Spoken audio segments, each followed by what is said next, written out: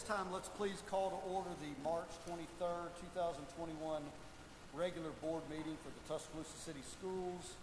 Uh, If we could have a a period of silence, and we will follow that by the Pledge of Allegiance, I would ask that we all keep um, in our thoughts and prayers all the families in Colorado dealing with that tragedy. So let's have a period of silence.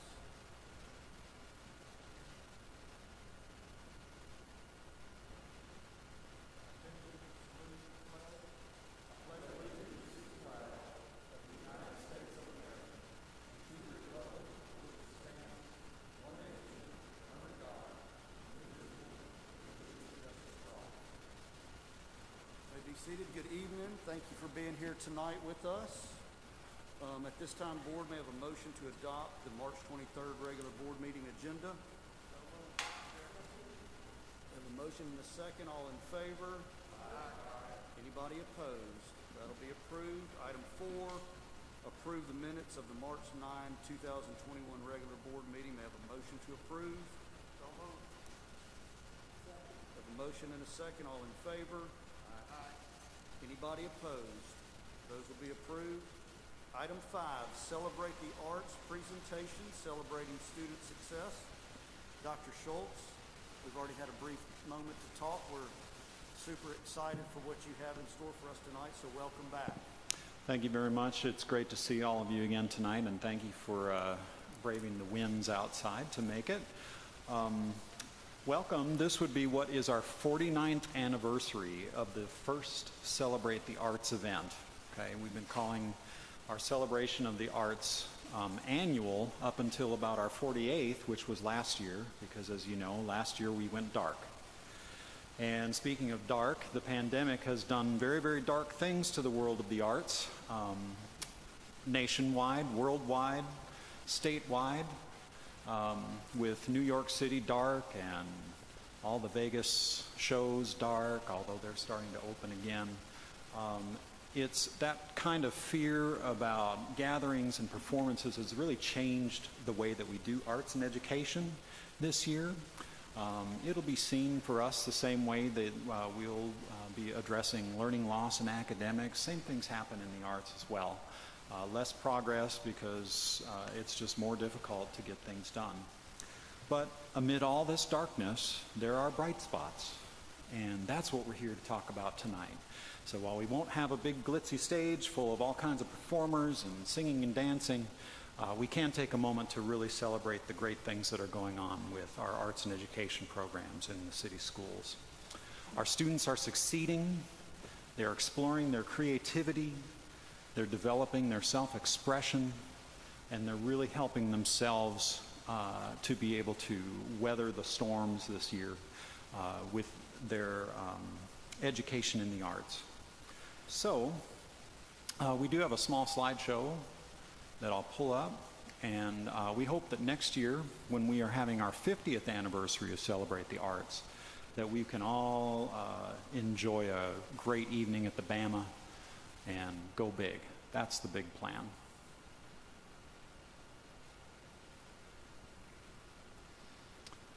So, Celebrate the Arts as a slideshow looks a little bit like this. Uh, we're going to take some time to celebrate some major student successes. We're looking at national and state awards now. Um, we started in January by having our local superintendent's art show. We'll have uh, some of our state winners here tonight. And really want to uh, take a moment to underscore the importance of winning national awards in the arts. National recognition is what we're all striving for, but uh, it doesn't happen every day. And in the arts, when it does, you want to really take a moment to celebrate that creativity and that success and uh, the passion that the students bring to their art making. And uh, the first guest that I have with me today is named Maya Young. Maya, can you come forward? Whoops, hello. Maya won a national award from the Art and School, or, uh, Scholastic Art and Writing Awards. She's uh, one of the winners of the Silver Key in Poetry Award. So uh, Maya's going to talk to you a little. Well, she's going to share her poem with you and introduce herself and tell you a little bit about it. Thank you. Thank you for having me here today. My name is Maya Young, and I'm a junior at Paul W. Bryant High School. And I first learned of this writing competition over the summer through my own research, but I kind of shelved it and put it away until a teacher at my school, Miss McKnight, um, contacted me about submitting some work for it. And she was really helpful in guiding me through the process and um, the application process and applying. So, my poem called Girl is about my experiences in quarantine, about the loneliness and isolation that I experienced, and how that really um, prevented me from engaging with the world around me and with myself. And I felt like I was kind of going through the motions. And so, in this poem, I really express the desire of learning how to live again in a way that I'm able to balance at the same time the collective grief and sorrow that was occurring, but also the joy that is always there if you look for it. So, this is my poem entitled Girl. I plummeted. I am a girl who thrives on routine. I detest expanses of space that seem to stretch to eternity. New journals, open calendars, the slow roll of endless road because they imply a certain need to sit with oneself, they are terrifying. A more intimate vulnerability emerges in the private communion with self, to invite the accumulation of thoughts and ideas that hurt and shame and indict. And so I sat with myself in April and in May, in between pounding out essays and penciling equations with a dignified precision to avoid the former. Any singular grit within me was steadily siphoned away, with each X feebly crossed in a calendar box. June and July were marked by the routine collection of sorrows to place carefully within the folds of my heart, where they would sit reverently. I built a tiny chapel in my soul for them to rest, though they still sting around their edges to hide the soft hurt in their center I vow to feed these inhabitants with something resembling joy. Thank you very much.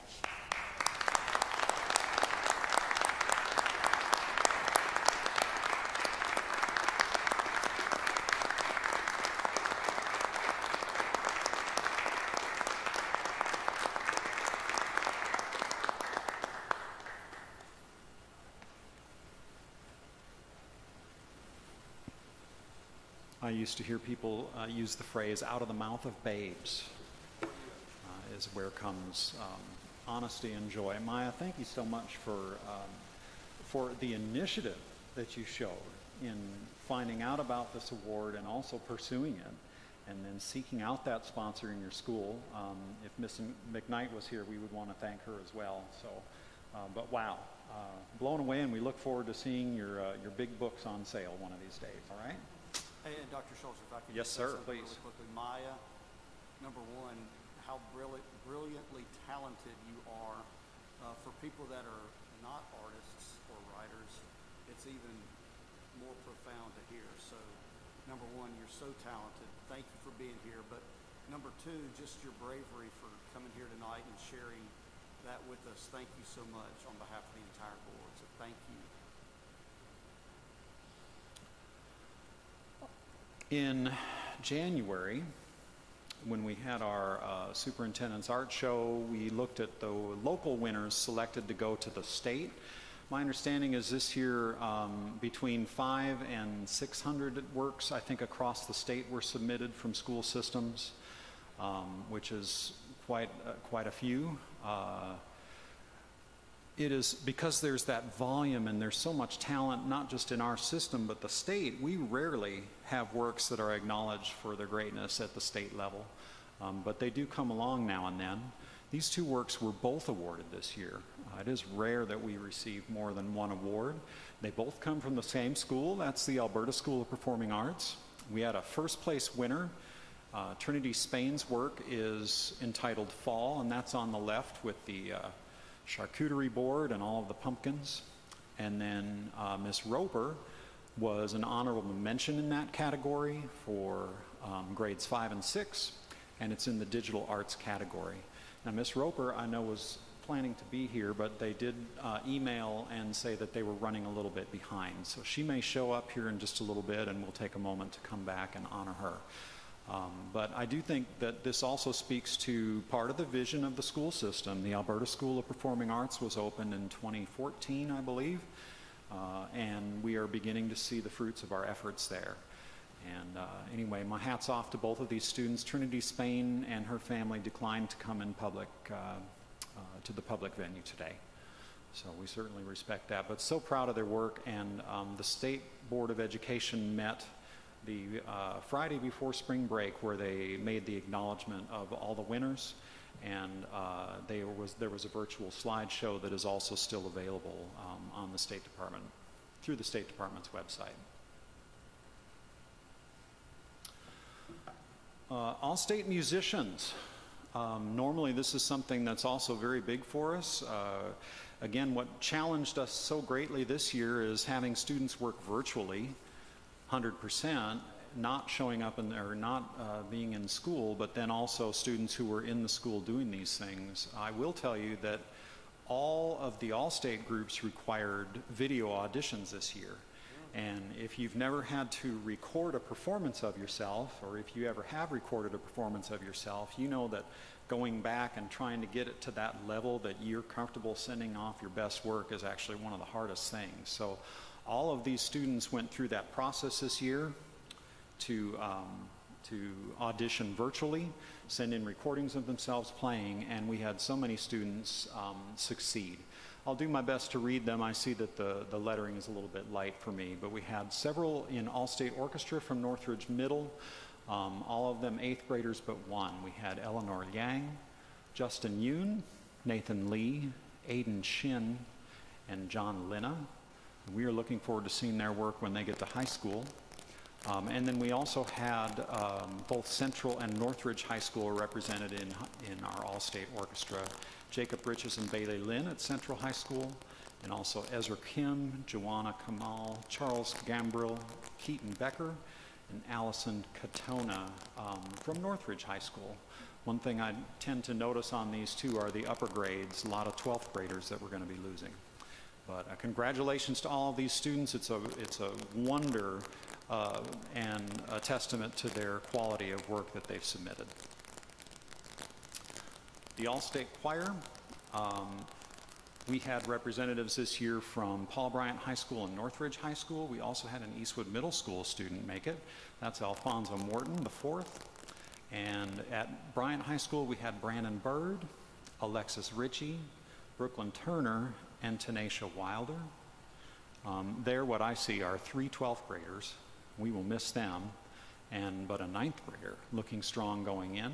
Those are members of the Tuscaloosa Fine Arts Academy as well. And one thing I'd like to say about Brandon Bird is that I know that he recently auditioned virtually for scholarships at um, several colleges in theater and musical theater and was awarded a scholarship at Montevallo. And so we're very, very excited about that, but we're looking forward to hearing more about that as it comes. Did I get the high school? I think I did. Northridge High School, Allison Jackson, Tierra Prince, and Tristovia Williams. Ooh, wow. This clicker skips around. The All-State Band. Lots and lots of placements here. Only one middle schooler this year. And again, uh, more of a testament uh, in our middle school programs, I think, is where we're seeing most of the, uh, the learning loss in our performing arts, in our musical uh, production performance classes. But in the high school, still very active. Jordan Benderson from Bryant High School, Sam Morganowski from Central High School, Sammy Hatfield at Northridge, Maddie Chrissy at Northridge, Reggie Robinson at Northridge, Ethan Cook at Northridge, Colin Murphy, Andrew Bolton, Grace Jung, Victoria Yates, Elizabeth Weber and Annabelle Weber, Patrick Pan, James Gernand, Britton Purdue, and Xander Nowell at Northridge High School. Um, quite a placement, and we are very, very excited because the Alabama Bandmasters Association has decided to provide all-state band live this year. It will be live, and it will be in Mobile. It looks like we may have found our guest. Is that Tony? Hi, Tony. Welcome. We're glad you're here. Can you step up here for just a second?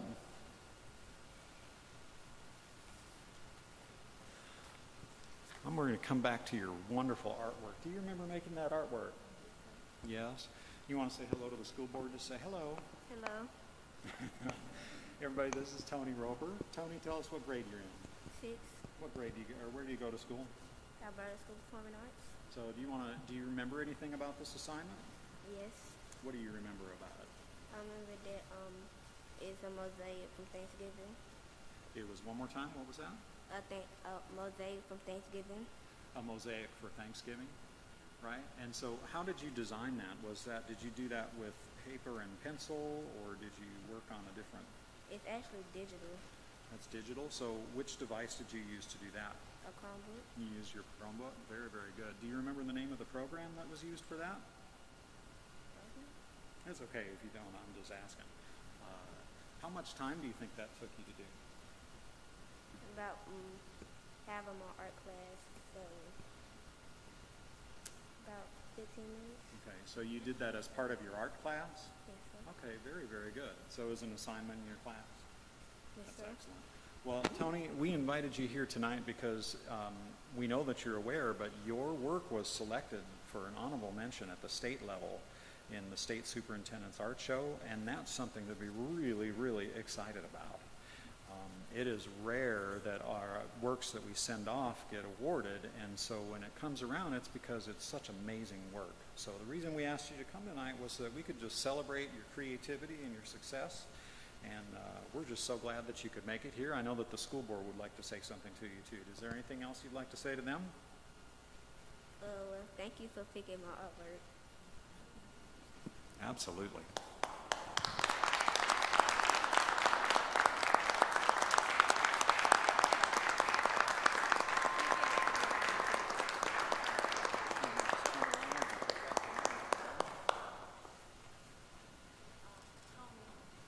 my microphone, board of education. Um, so Tony here, um, daughter of a friend of mine, and her mom is one of the best makeup artists here. Not just an artist, but, not just a makeup artist, but an artist. So she has a master, so congrats to you and your family. Thank you. You're welcome. Yeah. Congratulations, Tony.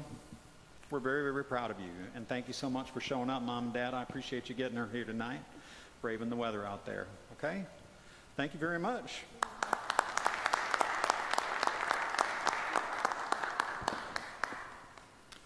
So anyway, we are getting ready to, uh, we're going to have All-State Band will be live. They're going to perform this in Mobile, um, I believe at the end of April, possibly at the beginning of May. I can't remember exactly where that is, but it'll be one of the very first uh, performances that most of these students will have been involved in in over a year.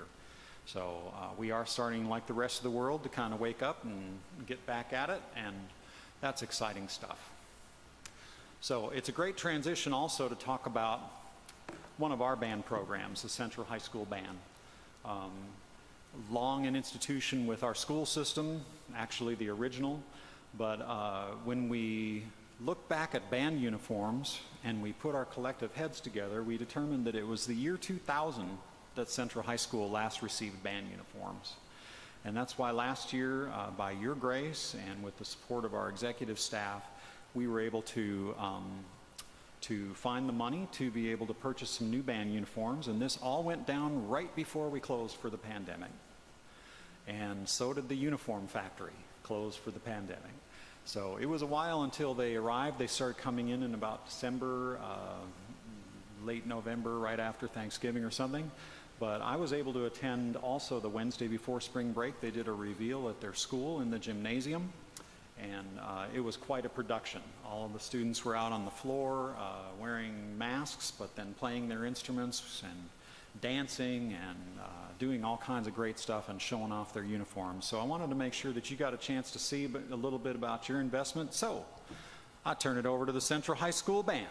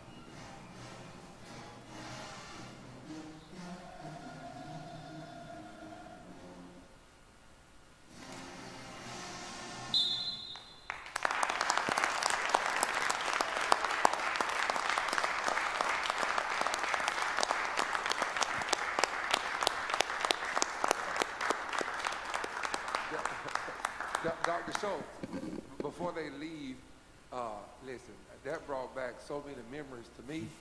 Uh, the, the last, the last set of uniforms that Central High School received, I was getting fitted for one. I played the bass drum in the band and was a part of that group called TAPS.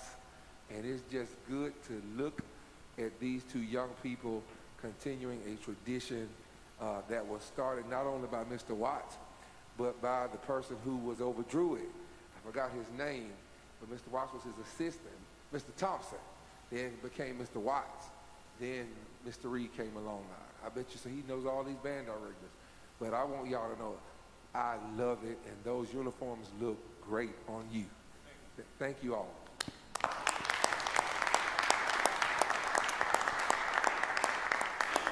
Drum Major Brandon and Drum Major Janelle. Uh, before I turn it over to them, they're going to say a couple words. I just want to say I had the pleasure of teaching both of these young, awesome people uh, in one of my last couple years before uh, I left the teaching classroom. So Yes, it's great to see them up here in a musical capability because they were in my music class. Yes, sir. Good afternoon. My name is Brandon Walton, and I'm a senior at the Central High School in Tuscaloosa, Oh. Alabama. Got to put an emphasis on the the. The Central High School in Tuscaloosa, That's Alabama. right. First and foremost, I want to thank everybody for showing out, and thank you guys so much for these new uniforms. Just like Reverend Wilson said, there weren't new uniforms since 20 years. It's been 20 years since we had new uniforms. And just like I tell my martial arts students, we all wear the same uniform because we are all on the same team. Right. We can't have one teammate, teammate wearing a different uniform than somebody else. So once again, I'd like to thank you guys for having us wear this uniform because we are one. We're on the same team. We're in the same uniform. And I love to thank Central High School as my family band. Yeah. Go CI. Yes, sir.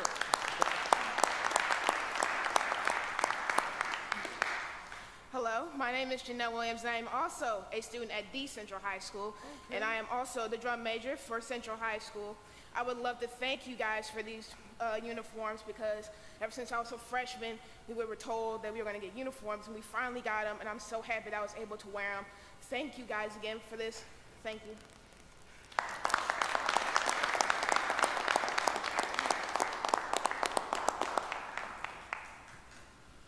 Just a couple more, um, and we will be finished. I want to put on one. Uh, just a, a little note, the drum major uniforms are in white and the uh, band member uniforms are red. Uh, they're just opposite, they're, they're done in opposite colors that way. All right, still trying to go forward, let's see.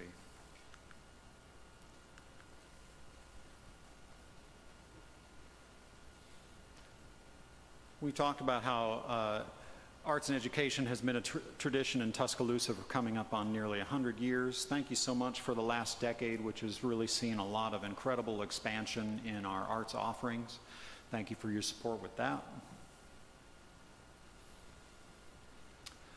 I can't ever go away without making sure we have a clear understanding of the why we do what we do.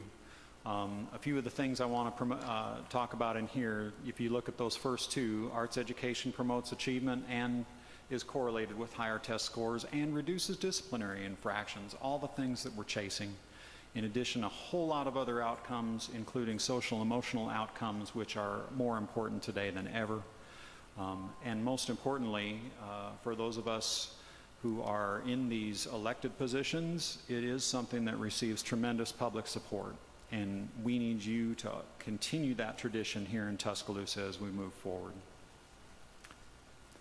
This is why I do what I do. These are some of our all-state musicians here, just the ones I could find to photograph. Um, and just if you need to know, that's the old Central High School band uniform parked down down there. So, as we go, on behalf of the staff who teaches arts and education in the 19 of 21 of our schools, I just want to say thank you for listening and thank you for your support. And I look forward to seeing you at the 50th anniversary of Celebrate the Arts next year. Thank you very much. Have a great night. Congratulations to our students.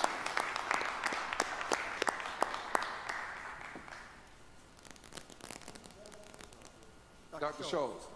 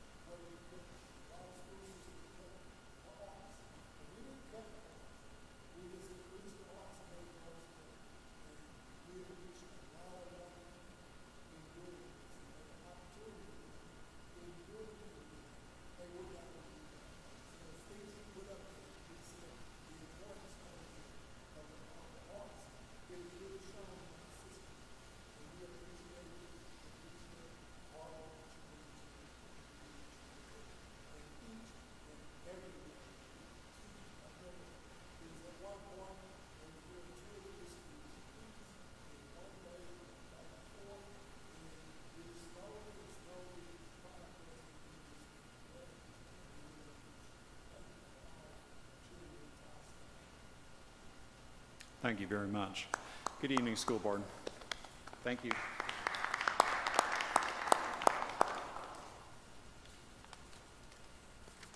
Okay, item number six, public comments on non-agenda items. We have one speaker tonight. If Mr. Paul Rollins Jr.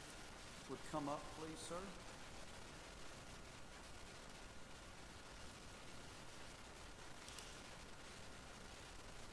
Good evening. Good evening, board. Good evening. Um, that was almost a perfect segue uh, about what I'm up here for this evening. It's a game that adults play, or you may be around your family, you play this game where someone will stand up and give you a couple of words or phrases, and you try and guess what it has in common. So I wrote down a few things. I know, you know, we can't communicate back and forth, but I'm gonna throw a few things out there, then at the end I'll let you know what they have in common. ABC, CBS, and NBC. Law and Order, NCIS Los Angeles, CSI New York, This Is Us, Person of Interest, Grey's Anatomy. New York City, Hollywood, Broadway, HBO, Cinemax, Showtime, Netflix. Blair Witch, The Sweet Blood of Jesus, The Knick, Spike Lee, Tom Hanks. What do all these words have in common? Two individuals from my alma mater, the Central High School, had something to do with each one of these words. Networks, from Broadway to Spike Lee movies, Tom Hanks plays. Those two individuals were my classmates. We graduated together. You have Brandon Scott, Stephen Tyrone Williams. They were a part of Central High School's drama department. Something that right now doesn't exist at Central High School. From my understanding, they haven't had it for about three years. That concerns me.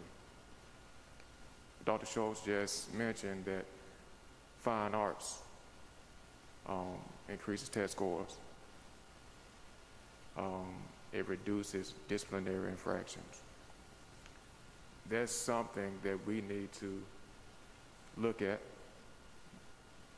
Um, I'm pretty sure that drama is offered at Bryant and at Northridge. I don't know why it's not at Central at the moment and why it hasn't been offered in the last three years, but that's something I want to place before the board to look into to see why we don't have it and what we need to do to get it back in place for fall of 21.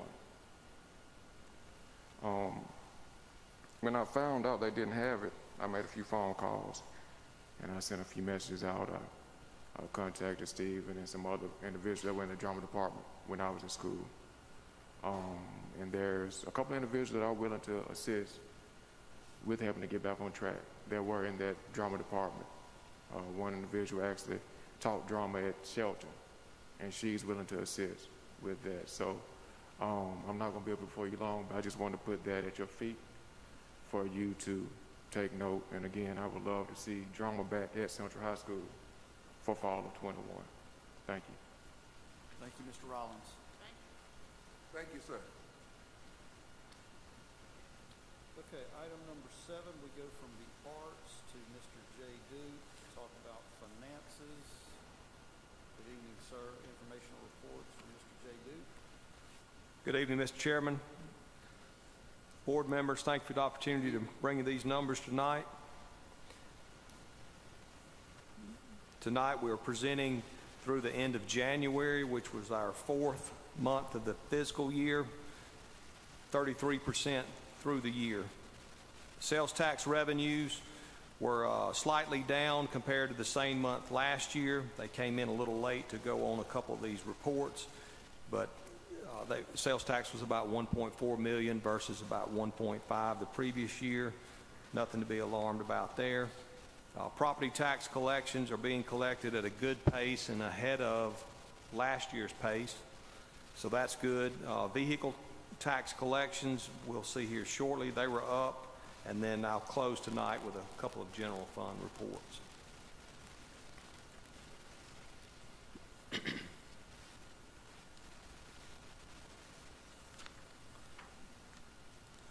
Sales tax, again, we, we ended up collecting two checks in February, so it's got our numbers kind of um, out of whack as far as comparison. That will adjust itself out in March.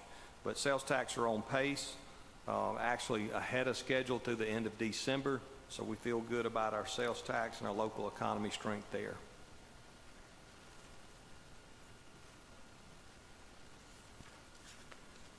Property tax, again, you'll notice in October it started off slow, and then the last three months have ha- actually ahead of last year's collections as far as timing. So uh, you'll see there at the very bottom, um, we we are ahead of schedule uh, as far as collections on property tax. So that's that's great to see. Our budget again for the year is 26.5 million, and you'll see that we're actually getting close to that amount as we have collected 25.3 million. So that's good.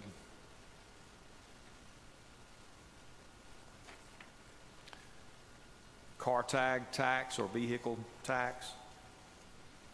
That number is good this year, uh, best number for the month of January in about four years.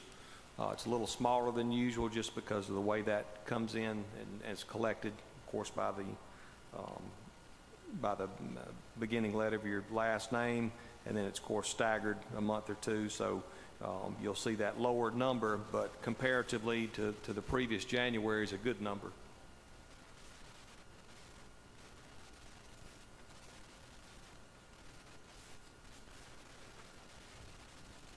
I have a chart here through the end of January, again through four months, which shows the percentage of our local tax collections, which we rely on for a lot of the things that you've seen here tonight as far as the arts.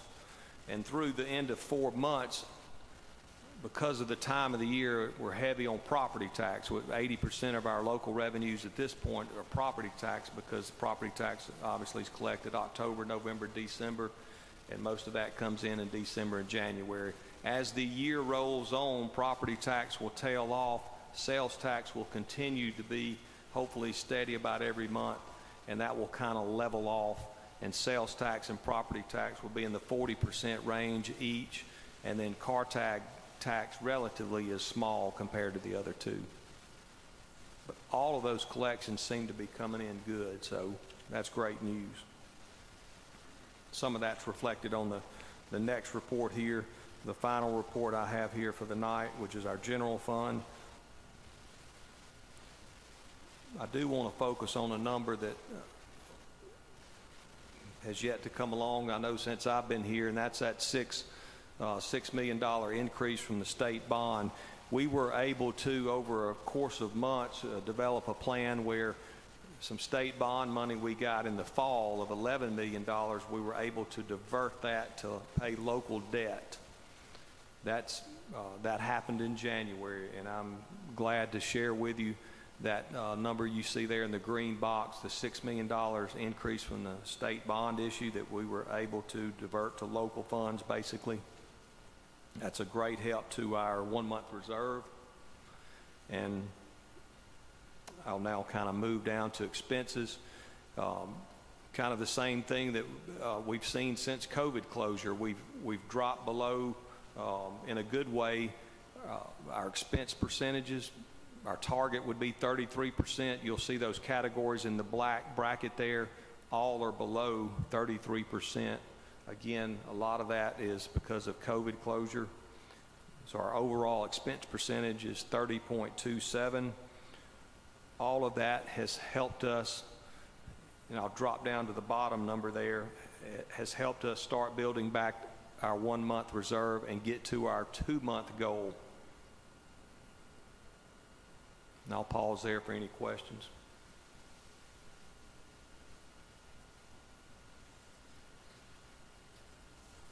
Okay, Mr. Chairman, that concludes my presentation. Thank you, Mr. Duke. Okay, thank you. Okay, moving along, item eight, introductions of motions, resolutions for a first reading of which there are none. Takes us to item number nine, the consent agenda.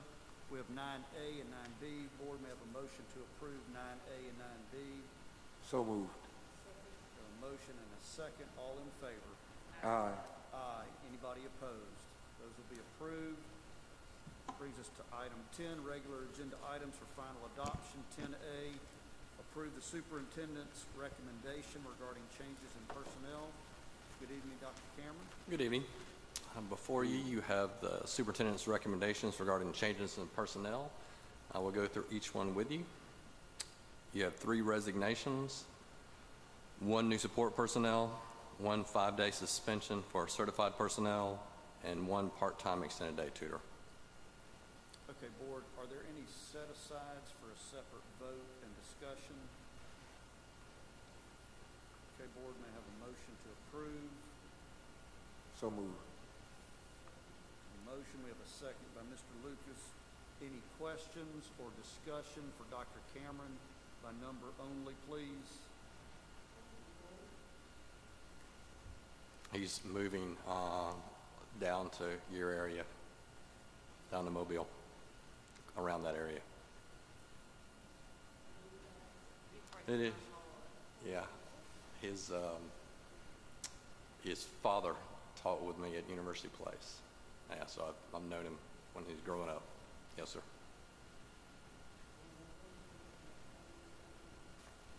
Yes, sir.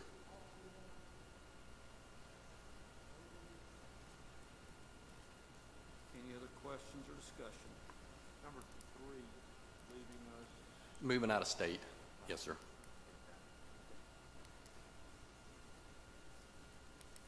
Any further questions or discussion? All in favor? Aye. Aye. Anybody opposed? Those will be approved. Thank you, sir. Item ten B, discuss approve revised substitute compensation. Yes, sir. Um, We're looking to revise the substitute compensation for the period of March 24th through the 28th of, uh, May 28th of 2021. We are going to use ESSER funds um, for this uh, revision. And I want to bring your attention to the chart. If you'll look at extended certified substitute uh, chart on the far left corner, where it says extended certified substitutes must either work for 20 consecutive days. With this revision, um, they will immediately get the $95 per day, and I will notify Kelly of that change. Kelly Services. And will the substitution, I'm sorry, Board, is there a motion to approve? So moved. Thank you, uh, Reverend Wilson. Um, Dr. Cameron, will, will it revert back, um, next calendar year, or are these here to stay? Uh, We'll look at the revision with the, this is in the salary schedule, so when we're revising the salary schedule, we'll, we'll look at it and see where we are at that point. Any other questions for Dr. Cameron? Ye- Yes, sir, Mr. Wilson. On a follow-up with what Mr. Wilson said, so you're saying it is in the future salary schedule for the ninety-five dollars? I'm saying that we'll look at it and to see if we're gonna, so this, this will end May the 28th, 2021. We'll look at the next salary schedule to see if we want to make revision um, with the compensation for substitutes. Okay, and, and just a point of, um, declaration. One thing that we know as a system that it's hard to get substitutes. And, uh, I know that we've been in discussion before about making sure that our substitute teachers have adequate, uh, sub, uh, pay. I, I've had the opportunity to be a substitute teacher, and I can say that in today's time, it's different than when I was a sub. It, it- it's totally different. And we want to make sure that um, we're competitive uh, so that we can keep good people around us in the future. Yes, sir, I agree. Am I correct also that these prices, primarily, exactly what you're saying, the competition drove this? so I think Right. It's good of what you're saying. Yes, sir. And, and like I said, um, substitutes, we've been down a little bit, so we're hoping this will uh, get some of our substitutes back into our pool. Yes, sir.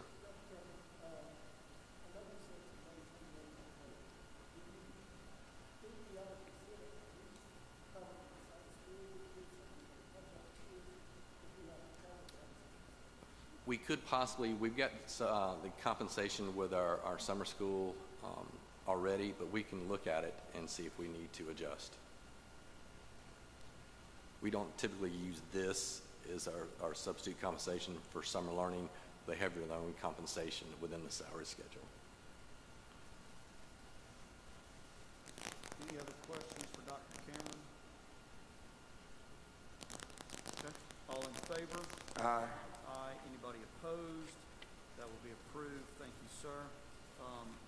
10C, discuss approve second reading of the revised registrar job description.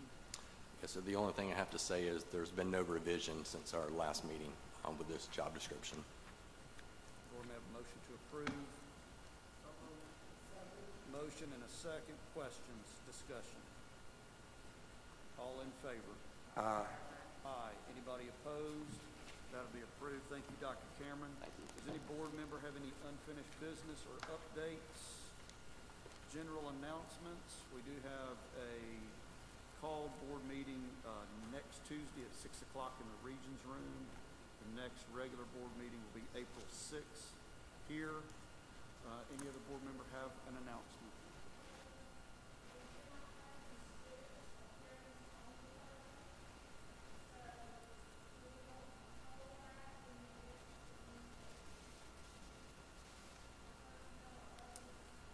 I- I think hold that for right now, and maybe we can, uh, get together at the beginning of the week and discuss and see if there's any need to, to have that. Is that okay?